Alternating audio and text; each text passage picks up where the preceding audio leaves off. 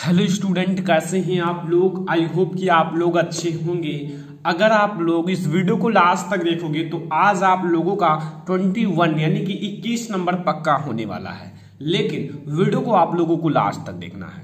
सब कुछ आज अब मैं आप लोगों को समझाऊँगा। जितने भी दीर्घ उत्तरीय प्रश्न आते हैं, उन सबको बताने वाला हूँ। सबको मैं अलग अलग जैसे केमिस्ट्री का अलग बायोलॉजी का अलग, और फिजिक्स का अलग, वो मैं आज आप लोगों को अलग अलग अच्छे से समझाने वाला हूँ। वीडियो को करना क्या है? एक लाइक करना है और अपने फ्रेंड्स के साथ शेयर करना है। इसका अगर फ़ोटो चाहिए, जो फ़ोटो है, जिस प्रकार से ये फ़ोटो है आपको तीनों साइड का फिजिक्स, केमिस्ट्री, बायोलॉजी का फ़ोटो आप लोग उसका स्क्रीनशॉट लेके अपने मोबाइल में सेव कर सकते हो। तो आप लोगों को जाना होगा हमारे इंस्टाग्राम आईडी पर।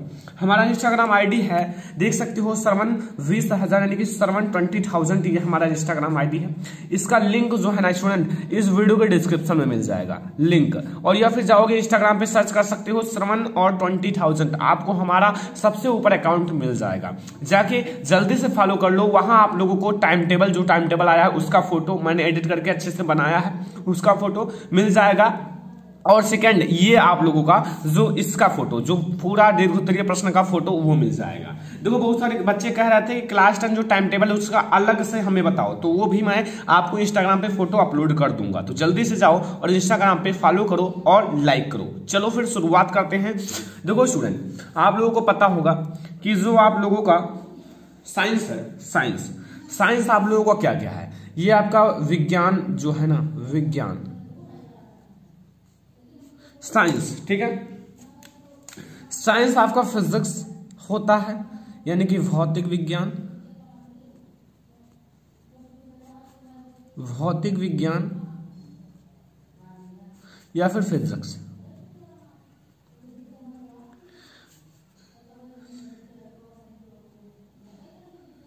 Physics sorry sorry P H Y S I C S ठीक है फिजिक्स ये आपका केमिस्ट्री होता है थर्ड आपका बायोलॉजी होता है. तो फिजिक्स केमिस्ट्री बायोलॉजी ये फिजिक्स जो है ना फिजिक्स फिजिक्स का मैं लॉन्ग क्वेश्चन बताऊँगा केमिस्ट्री का लॉन्ग क्वेश्चन बायोलॉजी का। सबका मैं अलग अलग बताऊँगा। तो जल्दी से आप लोग इस साइंस के, देखो बच्चों, ये जो आपका साइंस है ना साइंस साइंस ठीक है? साइंस में आपका सात मार्क का इसमें लॉन्ग आएगा, सात ही मार्क का इसमें आएगा, और सात ही मार्क का इसमें आएगा। तो इस सात मार्क ये और ये सात मार्क और ये सात मार्क पक्का करने के लिए प्लीज़ वीडियो को लास्ट तक देखना। मैं आपको समझाना चाहता हूँ हर एक चीज़। अगर मैं इस पर वीडियो बनाया हूँ तो ये मेरा लास्ट वीडियो है लॉन्ग क्वेश्चन पर। फिर आपको वीडियो नहीं मिलेगा, ठीक है? इसलिए मैं आपको सब कुछ इसमें समझा दूँगा। तो ये आप लोग देखिए ये सब, ठीक है? अब हम लोग एक एक क्वेश्चन को बात करते हैं। यहाँ हमारा टॉपिक क्या है स्टूडेंट देखो केमिस्ट्री पहले हम लोग देखेंगे जो आप लोगों का केमिस्ट्री है, ठीक है? जो आप लोगों का केमिस्ट्री है, ये चीज़, ठीक है? केमिस्ट्री और केमिस्ट्री में जो महत्वपूर्ण दीर्घ उत्तरीय प्रश्न है, ये पहले हम लोग देखेंगे, जो दीर्घ उत्तरीय है और क्लास टेन साइंस का, ठीक है? क्लास टेन साइंस का. तो एक एक क्वेश्चन को चलो देखते हैं, पहला क्वेश्चन आप लोग देख सकते हो, ठीक है? पहला क्वेश्चन आपके सामने आ चुका है। पहले क्वेश्चन में कह रहा है कि रासायनिक अभिक्रिया से आप क्या समझते हैं? जो रासायनिक अभिक्रिया होती है, जिसे आप क्या समझते हैं यह कितने प्रकार का होता है, उदाहरण दीजिए। जो आपका केमिकल रिएक्शन होता है, रासायनिक अभिक्रिया होता है, यह कितने प्रकार का होता है और फिर यह कितने प्रकार का होता है, लेकिन पहले आपको बताना है, रासायनिक अभिक्रिया होता क्या है, उसे समझाना है। व्हाट इज़ आप लोगों का केमिकल रिएक्शन पहले इसे बताना फिर इसके टाइप्स को बताना है। कितने प्रकार के होते हैं। अब आपको मैं शॉर्ट में समझा देता हूँ, रासायनिक अभिक्रिया आप लोग पहले देखू, मैं पढ़ा दिया हूँ पूरा चैप्टर एक वीडियो में। ये कितने प्रकार का होता है, जैसे संयोजन अभिक्रिया, वियोजन अभिक्रिया, विस्थापन अभिक्रिया द्विविस्थापन अपचयन रेडाक्स उपचयन, सब कुछ ये सब लिखना है। ये आपके प्रकार होते हैं। तो कुछ इस टाइप से लिखना है। पूरा जानकारी के लिए हमारे जो पूरे चैप्टर का वीडियो है, उसे देखो। रासायनिक अभिक्रिया समीकरण full chapter in one video उसका प्लेलिस्ट में नीचे लिंक दे दूँगा डिस्क्रिप्शन में। पूरे चैप्टर को पढ़ाया गया एक एक चैप्टर एक एक वीडियो में। देखना। ये दूसरा क्वेश्चन है दूसरे चैप्टर से। ठीक है, दूसरे चैप्टर से क्या कह रहा है? व्यंजक चूर्ण का रासायनिक नाम अणुसूत्र तथा बनाने की विधि का वर्णन करो। यानी कि जो व्यंजक चूर्ण होता है व्यंजक चूर्ण का रासायनिक नाम भी लिखना है। ठीक है? अणुभार भी लिखना है, अणुसूत्र भी लिखो। बनाने की विधि, उपयोग, सब कुछ लिखना है कि आपका सात मार्क का है तो सात में सात मिले, कोई काट ना पाए। तो आप लोग इसको देखने के लिए अम्ल क्षार एवं लवण का पूरा चैप्टर देखना पड़ेगा। तो आपको लिंक इस वीडियो का डिस्क्रिप्शन में पूरे प्ले लिस्ट में काम मिल जाएगा, ठीक है? हर एक वीडियो देखो, हर एक चैप्टर को समझो, केवल तीस, चालीस, पचास, साठ या फिर एक घंटे का वीडियो इससे ज़्यादा नहीं बनाया गया है। फिर आपका तीसरा है इसी चैप्टर से अम्ल क्षार एवं लवण से बहुत इंपॉर्टेंट चैप्टर है। वेकिंग सोडा से आप क्या समझते हैं या बनाने की विधि, रासायनिक नाम, सूत्र उपयोग बताइए। जो वेकिंग सोडा होता है, खाने वाला सोडा वेकिंग सोडा की बनाने की विधि, रासायनिक नाम, सूत्र उपयोग बताइए। आपको ये सब बताना है वेकिंग सोडा बनता कैसे है, इसकी विधि बताना है, इसका नाम बताना है, इसका उपयोग बताना है, इसका रासायनिक नाम बताना है, ये सब आपको बताना पड़ेगा। तब आपको यहाँ जानते हो ना, तब आपको यहाँ सात मार्क दिया जाएगा, वरना आपको चार मार्क, तीन मार्क ही दिया जाएगा। सात मार्क प्राप्त करने के लिए आपको इसका सब कुछ बताना पड़ेगा। बनाने की विधि, रासायनिक नाम, अणुसूत्र एंड यहाँ उपयोग, फिर रासायनिक प्रॉपर्टी फिर आपको केमिकल प्रॉपर्टी फिर आपको फ़िज़िकल प्रॉपर्टी ये सब बताना पड़ेगा। मतलब रासायनिक गुण, भौतिक गुण, ये सब बताना पड़ेगा। तो आपको सब कुछ बताना पड़ेगा स्टूडेंट ठीक है? तभी आप लोग सात में सात मार्क अचीव कर पाओगे। वरना बहुत मुश्किल पड़ जाएगा साथ में साथ लाना। दीर्घ उत्तरीय प्रश्न की बात कर रहा हूँ। फिर आप आइए धातु एवं आधातु में, मैं कुछ पर आपको टिप्पणी करना है। जैसे भर्जन। भर्जन होता है, निष्ठापन होता है, प्रागलन होता है, यहाँ सक्रियता श्रेणी। ठीक है, सक्रियता श्रेणी भी आपको याद रखना है। सक्रियता श्रेणी। ठीक है, पर टिप्पणी कीजिए। आपको मैं चार चीज़ दिया हूँ, इससे बाहर कुछ नहीं आएगा, अगर इस चैप्टर से आएगा तो। भर्जन, निष्ठापन, प्रगलन सक्रियता श्रेणी, पर टिप्पणी कीजिए। इन चार चीज़ों को आपको कंप्लीटली तैयार कर लेना है इस चैप्टर से, अगर अच्छे मार्क लाने हैं तो। तो जल्दी से आप लोग इसको कंप्लीट कर लो, ठीक है स्टूडेंट तो ये था हमारा question number four question number five है आप लोगों के पास। यहाँ देखो एथिल एल्कोहल बनाने की दो आप लोगों को रासायनिक गुण बताइए, या फिर किडवन द्वारा एथेनॉल के निर्माण पर संक्षिप्त टिप्पणी कीजिए। ये आपका स्टूडेंट वेरी इंपॉर्टेंट क्वेश्चन है। वेरी इंपॉर्टेंट क्वेश्चन है very very very important question है। ठीक है? तो स्टूडेंट प्लीज़ इसे तैयार ज़रूर कर लेना।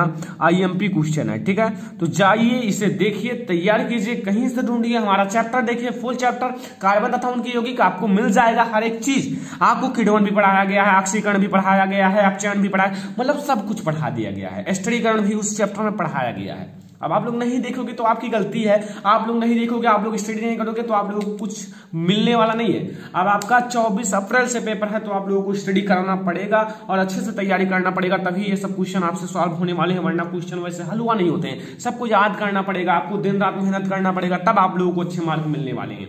यहाँ आपको क्वेश्चन नंबर सिक्स है, स्टडीकरण पर संक्षिप्त टिप्पणी कीजिए। जो आपका स्टडीकरण होता है, उस पर संक्षिप्त टिप्पणी करना है। स्टडीकरण, फिर आपको यहाँ लास्ट क्वेश्चन है, सात क्वेश्चन मैं इसमें बताया हूँ, सात में सात आपको याद करके जाना है, एक भी कम नहीं करना है, क्योंकि सात मैंने जो बहुत ज़्यादा इंपॉर्टेंट है उससे लिया है। और भी क्वेश्चन है, लेकिन ये सात में से आपके पक्का आएँगे।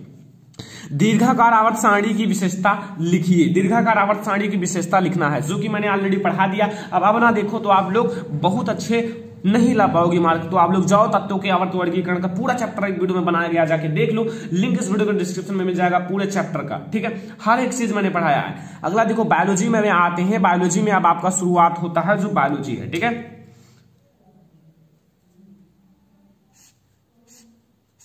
बायोलॉजी देख लो। ठीक है? बायोलॉजी में क्या करना है? देखो बायोलॉजी में मैं आपको पहला क्वेश्चन बताता हूँ। बायोलॉजी का पहला क्वेश्चन बायोलॉजी का पहला क्वेश्चन देखो, पोषण क्या है? जो पोषण है वो क्या है? तथा यह कितने प्रकार का होता है? उदाहरण दीजिए।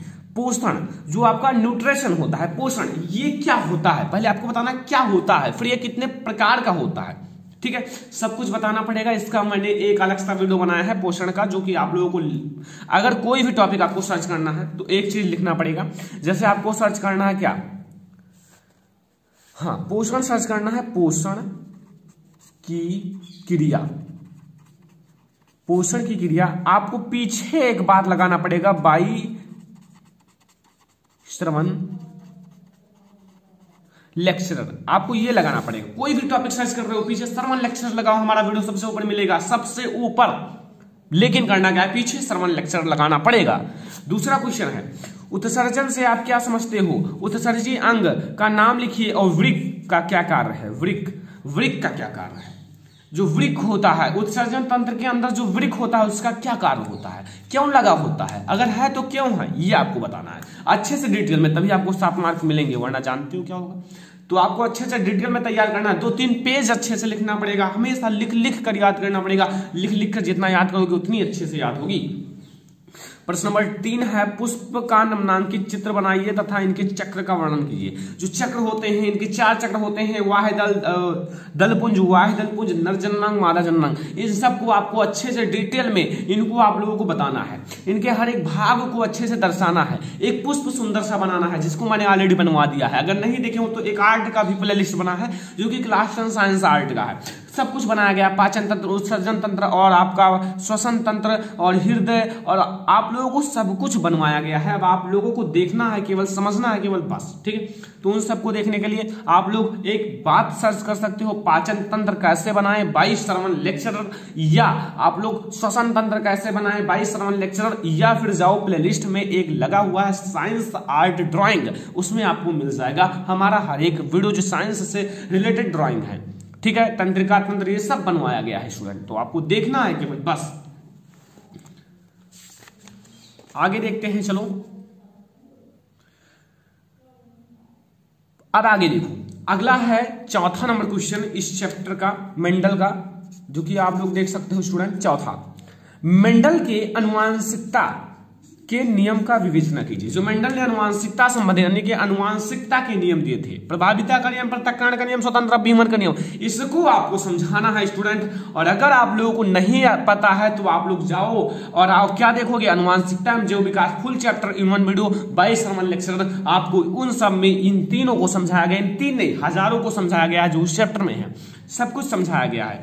अगला टॉपिक आपके पास है, देखो यहाँ। फाइव नंबर प्रश्न फाइव देख सकते हो, मानव के लिंग निर्धारण से आप क्या समझते हो? मानव का लिंग निर्धारण। लिंग निर्धारण का अर्थ होगा कि लड़की होगी या लड़का, नर होगा या मादा होगा। लिंग निर्धारण के द्वारा ही पता चलता है कि जो आने वाला संतान है वो लड़का होगा या लड़की। तो आप लोगों को लिंग निर्धारण समझने के लिए उस चैप्टर को देखना होगा। या फिर सर्च कर सकते हो, लिंग निर्धारण तरह लेक्चर आपको मिल जाएगा वीडियो वीडियो भी अलग से मिल जाएगा। और आपको पूरा चैप्टर देखोगे तो हर एक कॉन्सेप्ट क्लियर हो जाएगा। मेंटल के द्यू संकर्षण का प्रयोग बहुत बड़ा प्रयोग है, इसलिए उस चैप्टर में बताया गया है। उस चैप्टर में इन सबको डिटेल में बताया गया तो उस चैप्टर को देखने के लिए लिंक इस वीडियो डिस्क्रिप्शन में सब कुछ देखकर अच्छे से समझ सकते हो पूरा चैप्टर एक से लेकर पंद्रह चैप्टर तक का पढ़ाया गया है। आप लोगों को लिंक प्ले का मिलेगा। और हो सकता है तो मैं आप लोगों को अलग से चैप्टर का भी लिंक दे दूँ। ठीक है? तो आप लोग केवल स्टडी कीजिए और हमें इंस्टाग्राम पे ज़रूर फॉलो कर लीजिए। इंस्टाग्राम का आईडी है श्रवण जो आपका इंस्टाग्राम आईडी है श्रवण ट्वेंटी थाउज़ेंड ठीक है? ज़रूर फॉलो कीजिए, क्योंकि मैं आप लोगों को उस पर बहुत सारे इंपॉर्टेंट क्वेश्चन देने वाला हूँ। ठीक है? फ़ोटो आपका इसका लेना है तो इंस्टाग्राम पे फॉलो करना पड़ेगा। ठीक है? फिजिक्स में आते हैं फिजिक्स फिजिक्स अब मैं फिजिक्स बताता हूँ। ठीक है?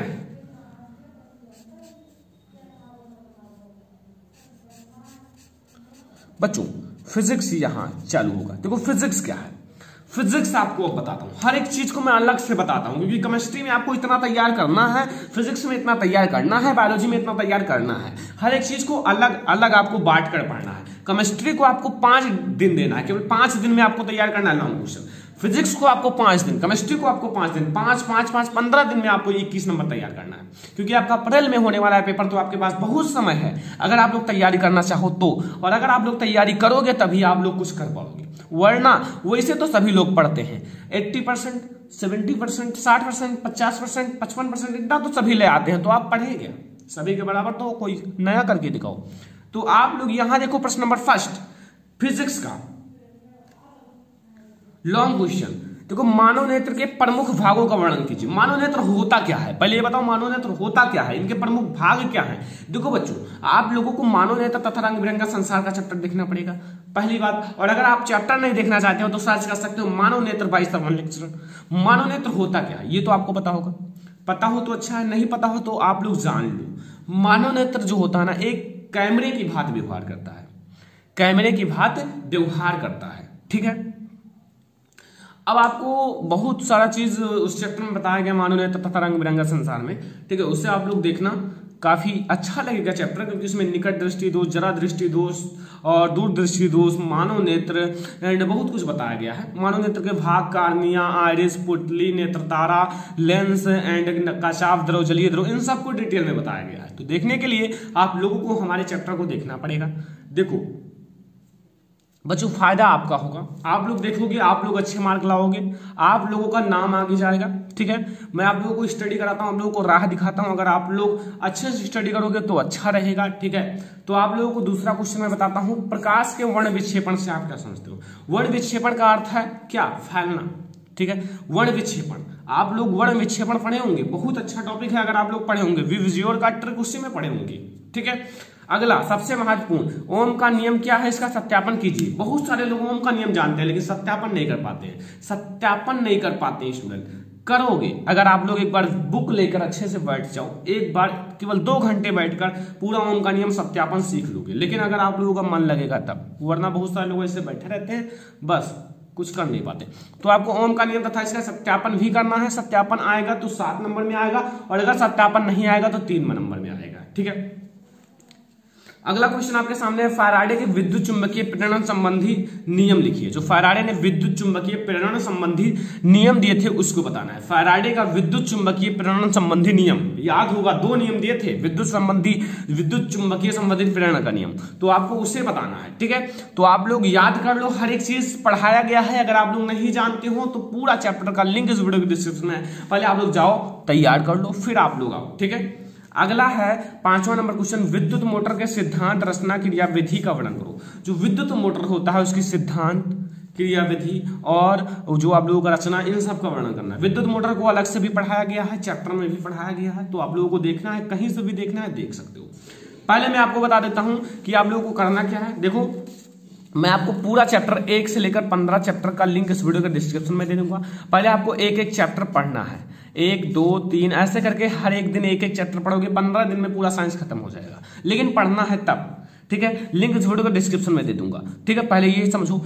और अगर आपको इसका फ़ोटो लेना है टाइम टेबल का फ़ोटो लेना है, जो आप लोगों को मैं फ़ोटो दूँगा, उसको आप लोगों को करना क्या है? जाकर इंस्टाग्राम पे सरमन ट्वेंटी थाउज़ेंड फॉलो कर लो। आपको बहुत कुछ मिलने वाला है उस इंस्टाग्राम आईडी पर तो जाओ जल्दी से सरमन ट्वेंटी थाउज़ेंड फॉलो कर लो, ठीक है? उसमें हम आप लोगों के लिए छोटा अच्छा अच्छा पिक भी भेजता हूँ, ठीक है? तो आप लोग जल्दी से जाओ फॉलो करो और इसका फ़ोटो मैं उसमें डाल दूँगा, ठीक है? तो आप लोग जाओ जल्दी से सरमन ट्वेंटी थाउज़ेंड इंस्टाग्राम आईडी को फॉलो कर लो।